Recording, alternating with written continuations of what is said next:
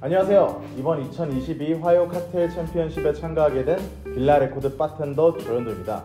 어, 저는 오늘 이 대한민국을 대표하는 고급 소주 브랜드인 이 화요를 이용해서 그동안 코로나로 인해 국내에서 굉장히 핫해진 주류 문화 트렌드인 이 home tending만큼이나 글로벌 주류 문화의 트렌드가 된 발효 그리고 저도수 이 두 가지의 키워드를 접목시켜서 건전한 음주 문화 조성을 위해 우리 모두가 아주 편하게 즐길 수 있는 저도수의 과실향이 물씬 나는 그러한 시원한 한 잔을 만들어 볼 텐데요.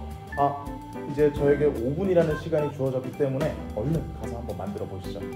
따라오세요.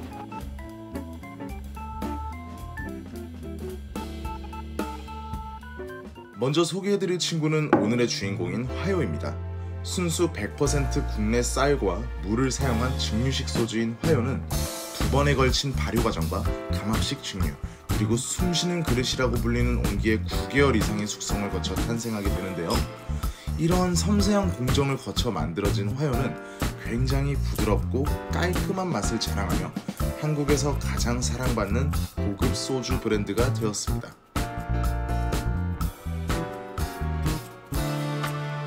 이 깊고 부드러운 향이 일품인 화요 41을 45ml 넣어주도록 하겠습니다.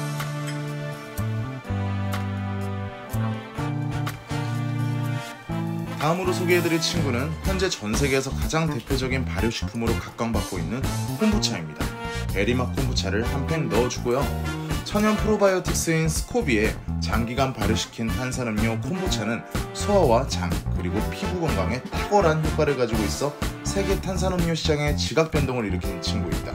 berry flavor가 가지고 있는 상큼함을 한층 강화해줄 유자주스 5ml 넣어주고요. 음료의 fruity한 풍미를 한층 업그레이드 해줄 생사과 4분의 1 piece를 넣고 muddling 해주겠습니다.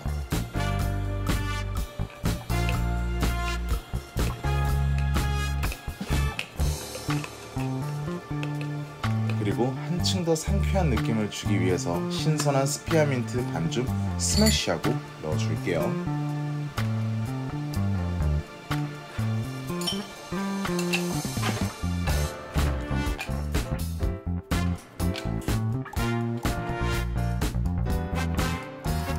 자 이제 shaking time.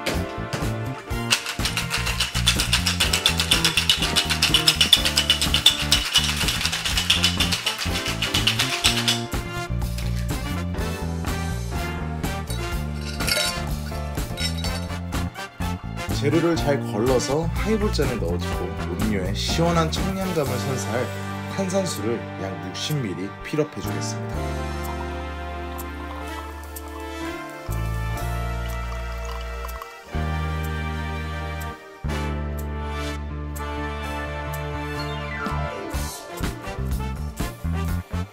마무리로 가니쉬는 하여 소주의 베이스가 되는 쌀을 이용해 만든 고소하고 달콤한 쌀과자에 동결 건조된 라즈베리 파우더를 뿌려서 음료와 함께 곁들여 즐길 수 있도록 잔 위에 올려주겠습니다.